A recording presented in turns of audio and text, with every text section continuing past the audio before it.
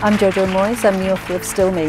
This is my first event on this book, so please bear with me. I think Bumblebee Tights to me are the absolute purest example of a woman dressing for herself.